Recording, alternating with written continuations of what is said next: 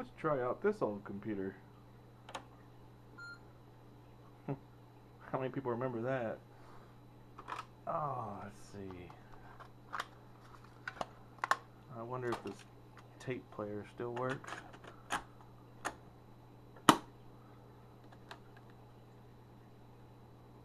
Alright. Oh, I didn't look to see if it needed extended basic.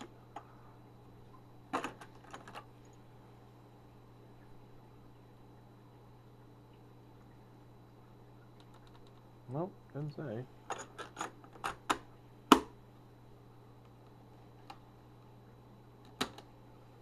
Alright, let's see if I remember the commands.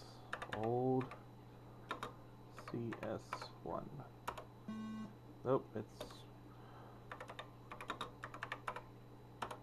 gotta be in capital letters.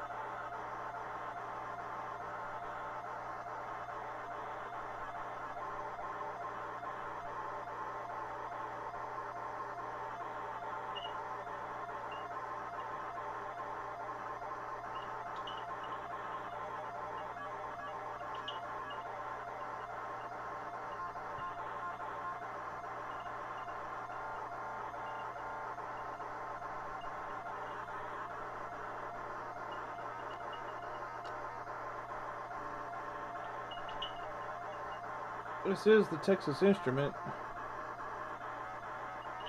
994A. It's not the TI 994A. It's the beige model.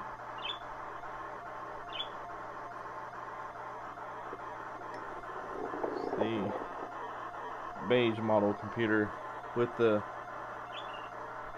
speech synthesizer.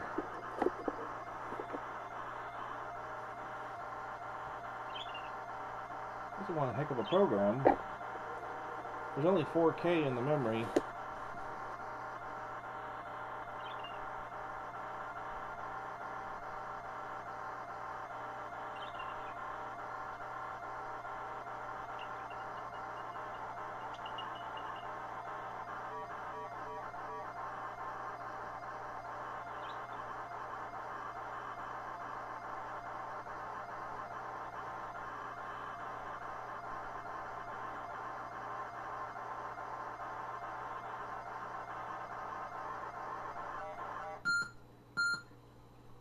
Okay. Now, unlike other computers that, uh, like, say, for example, the Tandy Color Computer 3, that's another computer I was, I'm very familiar with. On a Tandy Color Computer 3, you can leave the play button down. There's a relay inside the computer that activates the remote control on the cassette and you can leave the play button down indefinitely and it will not turn the cassette player on until you tell it to load a di- load a load a program.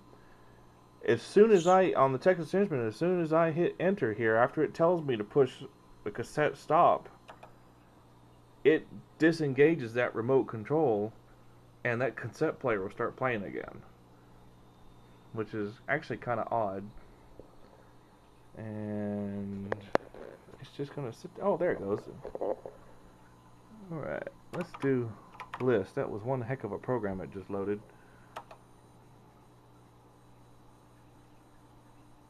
Oh my gosh, I forgot how slow this thing was. This could take a while. Actually, I think this beige model is actually slower than the silver one. Hmm. Gosh, remember typing in all those commands?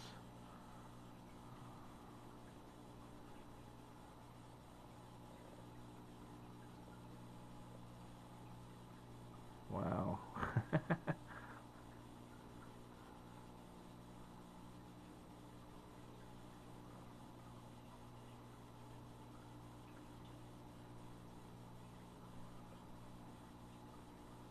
I'm just curious now how big this program really is. The lines seem to be going in tens. That's still quite a bit. It, huh.